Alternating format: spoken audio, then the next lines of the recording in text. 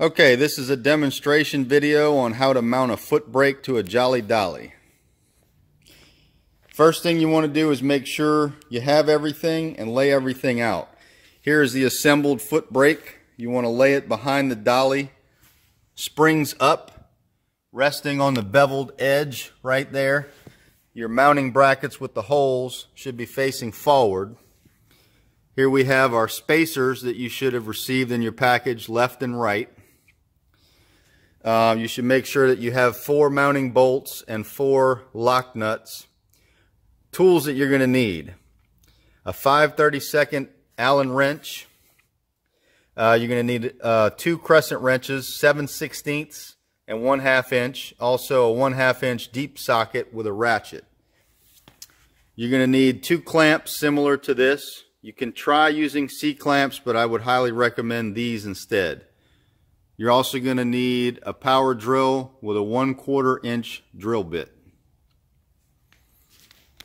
Okay, let's get started. First thing you want to do is to mount these spacers. You have the PVC pipe goes on the front bar here, just like that, okay? Then you're going to lift this up and slide this under here like this. So you want your back bar resting on there, your front bar all the way into this uh, PVC pipe. Same thing on the left side.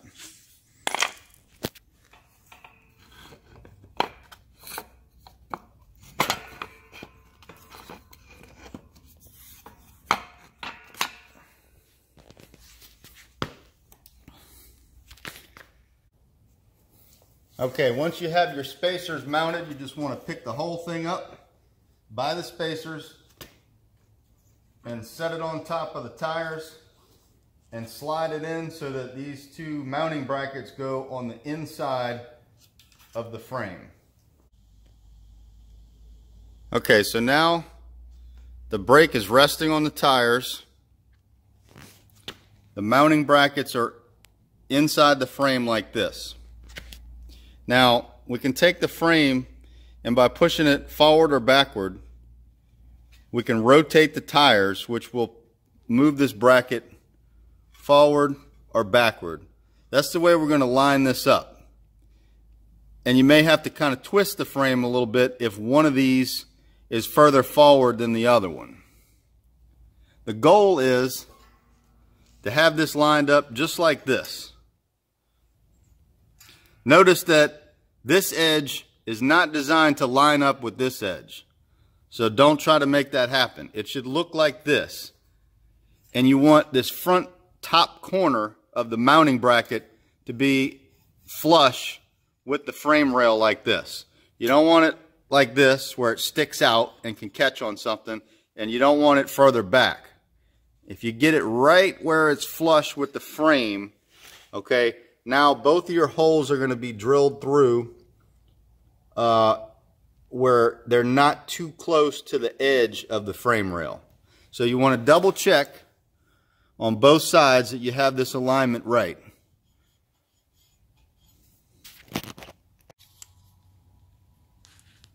Once you're sure that your alignment is correct,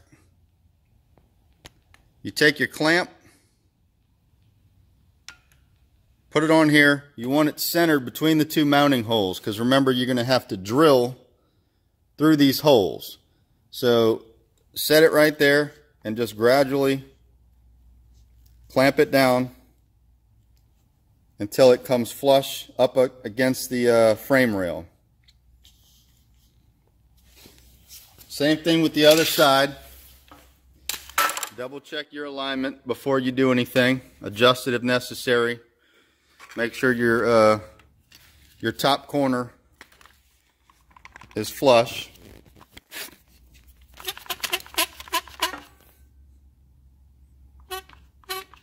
Okay, same thing with the other side. Center it between the holes, gradually clamp down until the mounting plate meets the frame rail. Then keep pumping it. And this is why I like these clamps. This needs to be really tight. You don't want it to move. These grips put, I think, uh, 200 or 300 pounds of force. Um, now see right there, that's not correct. On this side, we're flush, more or less. This side is back a little bit. That's no good. So what we want to do is release the clamp. We want to grab the frame rail, and I'm just going to inch this forward. As, the, as I do this, the tire is rolling, which is going to make it easy to, to make this come further forward. Just, just very slight movements here. Okay. Now we're lined up. Clamp it slowly. Slowly close that gap until it's flush with the frame rail. Now we recheck, we're flush.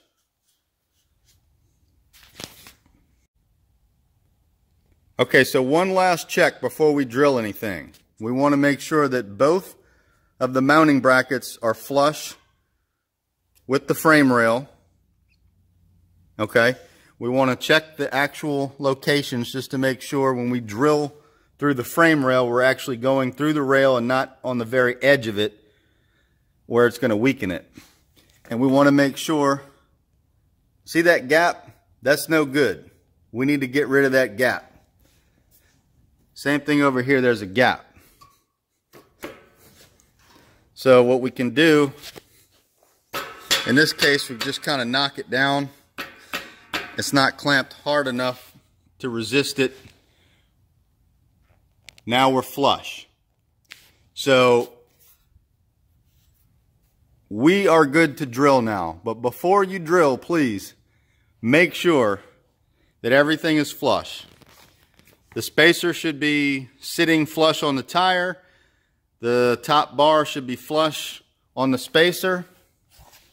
And both of your mounting brackets need to be flush with the frame and double check the actual location of your mounting holes to make sure you're going through the frame rail not too close to the edge of it that could weaken it. Once you're 100% sure all this is correct, you're ready to drill. So you take your drill with your quarter inch drill bit. The drill bit is going to go through the hole in the mounting bracket and you're going to be drilling all the way through this frame rail. You want to keep the, the drill as straight as possible and go all the way through.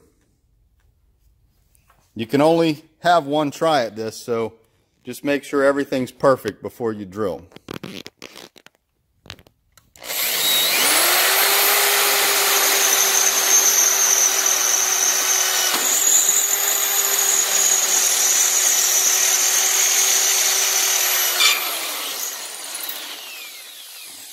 And repeat this process for all four holes. Okay, when you're done drilling, it should look like this. The bottom hole should be closer towards the back of the frame and the top hole should be closer to the middle of the frame. Now you want to take your mounting bolts. They go from the outside in all the way through the frame rail and through the mounting bracket on the other side. Now you take your lock nut over here to the other side and you mount those on there.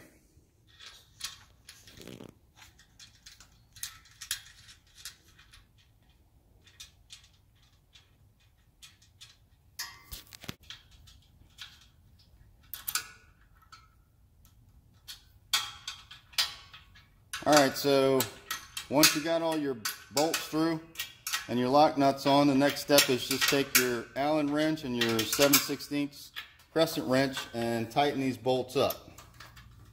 You want them nice and snug because you don't want this to shift. It's not going to have much play in it even if it were able to shift around, but uh, make them tight anyway. All right, once you got everything tightened down, it's time for the moment of truth. You release your clamps You pull off your spacers. And now you check the operation of your foot brake. First of all, you're going to want to make sure that you have plenty of clearance. I say plenty. You basically are making sure that this first bar, the front bar, is not dragging on the tires or not dangerously close to doing so when the dolly rolls. Now you want to take your foot, ease into the brake. It should, the front bar should contact the tires at approximately the same time, really close. And then you want to press all the way down until your back bar hits the tire. And you want to just pump the brakes a few times as you roll it forward. It should give it a definite stop. You should notice, I don't know if you can see it in the video, the front bar should actually dig down into the tire. You should actually see the, the tire kind of collapsing under it. It's designed to do that to really stop it. And then once you get the touch from the back bar, that's what really locks the brake into place. So as long as this is operating properly and the front bar contacts both tires at approximately the same time, you are good to go. The last thing you want to do is check the tightness of these hinge bolts right here. Um, this is a stainless steel 5 16 inch bolt with a with a, a lock nut. There's one on each side, and you may have to tighten or loosen this after mounting the brake. These bolts are designed to be tight enough to where the brake doesn't rattle around, but loose enough to allow for the brake to pivot on that pivot point without binding up. Uh, so you just want to check that. As long as the, the, the, brake is operating well and you don't have to uh, really punch it too hard to get it to go down, as long as it's returning up to its position, it, it should be just about right. But you can check and see if they look loose, you can tighten them.